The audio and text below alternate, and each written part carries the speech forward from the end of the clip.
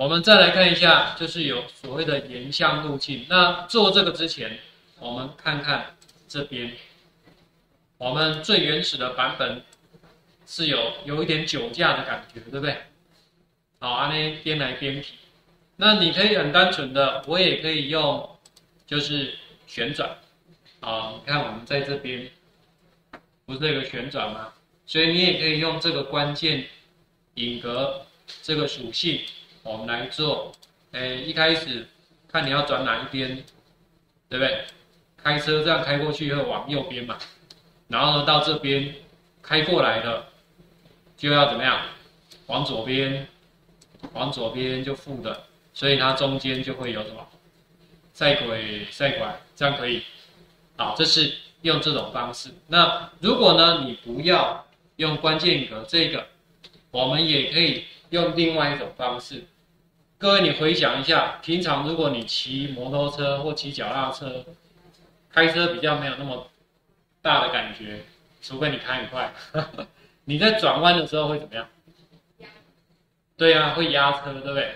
你看，我们如果一个道路像这样的，你你骑过去的时候，你身体是会往这边倾。哎，我跟你不同方向，哎，你们这样才有看到。对不对？然后呢？哎，我骑到这边弯的时候，我是不是就改另外一边？改另外一边。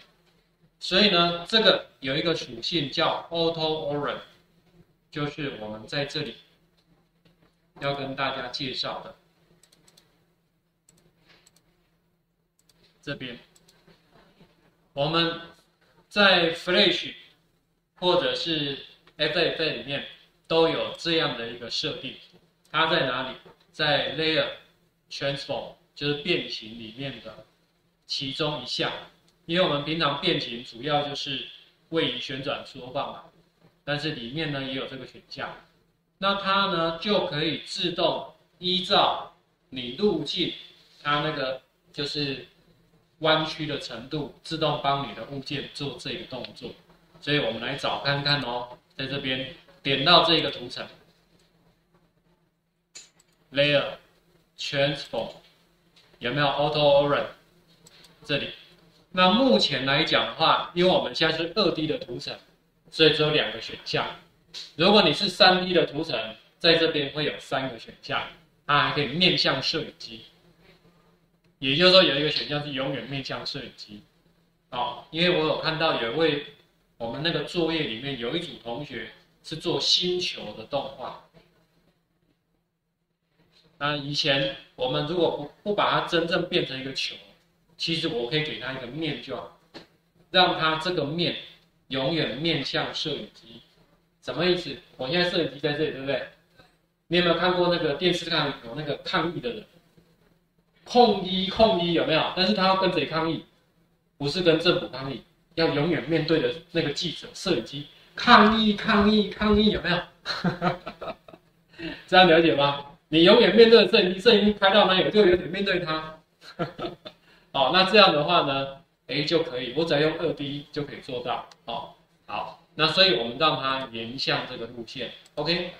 来，我们试看看，拉动，你有没有感觉？哇，变轨啊！哇，这个开的比较激烈一点，这样可以吗？它就会依照你那个路线自动调。当然，你如果觉得啊，我不要这么夸张，有没有？按那个边掐，你可以自己在这边再加上关键语，再把它找回来。